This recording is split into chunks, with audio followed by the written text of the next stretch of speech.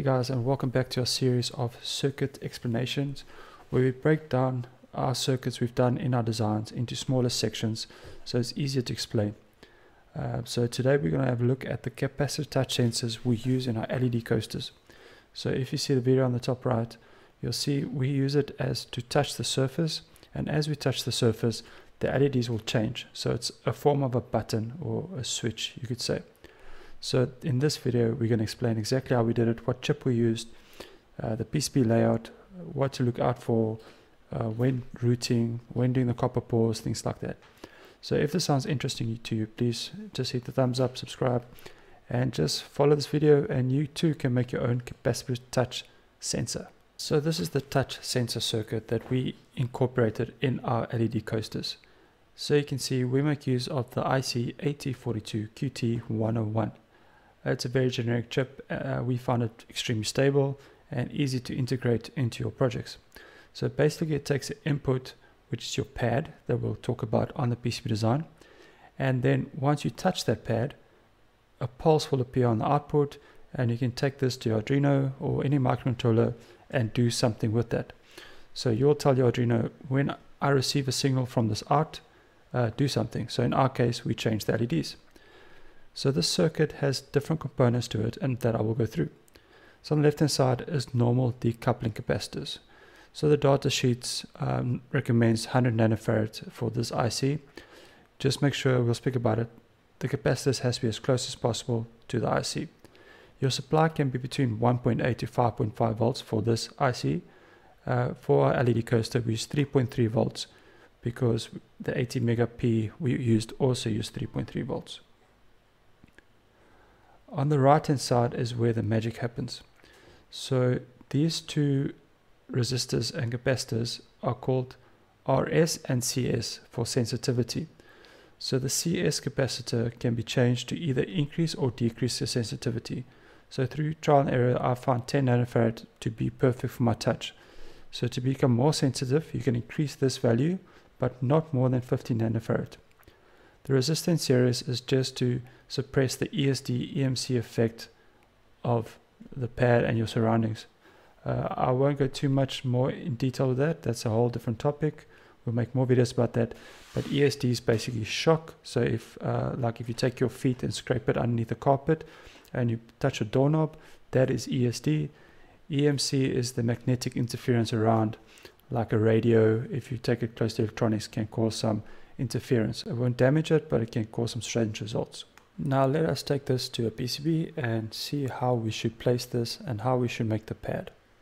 So as you guys know, tools, update, and I should take it across. Uh, so J1 is my pad. I'll go more detail with that, uh, how I make the pad in KiCad and how I link the pad to the schematic. And there you can see it. There are all my components. So let's just quickly make a board outline and get started. I do have a video about making PCB with board outlines, so I will not go too much detail about that. If you wish to know about it, just look at our playlist KiCad and we've got about 25 videos about KiCad and learning KiCad. There's our pad, little board. Great. So now we just have to make sure which capacitor is our sense and which is our decoupling. So we go back to the schematic. So C1, C2 is the coupling capacitors. They need to be as close as possible to the IC. And then my R1 and C3 is my sensitivity. So this also has to be as close as possible. So let's put it there. And my sensitivity I'll put there. So these are all quite close. You want the tracks to be as short as possible for this IC for less interference and a more stable touch. Now I want to add the pad. Uh, for the pad, there's different methods to use, but this is the one I use. So I just go place my component by pushing O and a footprint library will come up and then I search for pad. And there you can see pro pads, all different ones but I want a SMD pad preferably round so we can do a test point pad D4 so this will work nicely to change the dimensions you can just double click on it and change the size and the size will change as well if I go 3D you'll see the copper is showing but I like it that my touches my touch sensor, my pad is covered by solder mask. So to do that, I double click on it and here on the right hand side, you'll see I just want on the copper. I don't want any mask. So mask is the opening of the solder mask. So if there's mask, the copper will be exposed. Now if we go to 3D, it is nicely covered. And we can change the ref uh, to the ref you want the same as your schematic. So J1, we want our ref. So we can do this manually. Push E for settings and J1. And that will link it. Let's just save. Three again. No. So there we can go. If we touch it, it should do something. So let's just update it. So the first thing you have to do is tell that this J1 other J1's connector, tools, update, reassociate, and there we go. Now it's perfect. Now you can see pad there, pad there. Now let's start routing and talk about the important uh, things to think about when routing a touchpad. So now we can start routing. So like I said, we would like the tracks coming from my RS and my CS, my sensitivity resistors and capacitors, to be short as possible. So now we can just route. This is pretty short. Get it in there. And that's fine. That is perfect. Uh, there we go. Just connect the 3 volts. Connect the ground. So the ground we can take inside, no problem with that whatsoever. You can have a ground plane at the bottom here, I'll talk about that now. And then you can connect your pad.